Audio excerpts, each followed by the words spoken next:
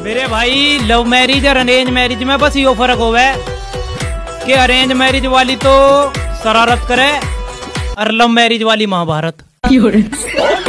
आम बात है। अब सूरज को ही देख लो। आता है किरण के साथ रहता है रोशनी के साथ और जाता है संध्या के साथ है और कल वर्षा भड़क गई तो छिप गया कहीं जाके मेघा के साथ। भाई साहब दुनिया के आधे रिश्ते तो तांत्रिकों ने यही बोल के खत्म करवा दिए। कि तुझ पे तो तेरे अपने ने कुछ करा रखा है।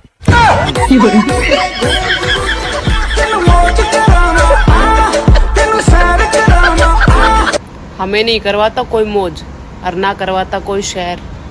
घर में ही पड़े रहते हैं चौबीस घंटे। कौन सी देखी थी मैम ज़िंदगी फ़िल्म बनी पड़ी है वही नहीं देख पा रहा मैं मूवी का देख।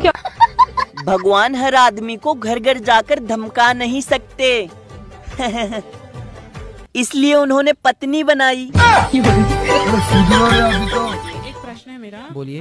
कि मैंने अपने हस्बैंड से जब शादी करी है शादी के बाद हम लोगों ने हस्बैंड मत बोला करो पति देव बोला हाँ, करो। पति देव से जब शादी करी है हाँ। उस शादी के बाद मतलब हम लोग का ना थोड़ा सा झगड़े भी बहुत होते हैं बनती भी तो। आपकी तरफ़ से होता है कि उनकी तरफ़ से होता है? उनकी तरफ़ से भी तो होता है मेरी तरफ़ से भी होता तो फिर आपको मैं एक मंत्र दे सकता हूँ?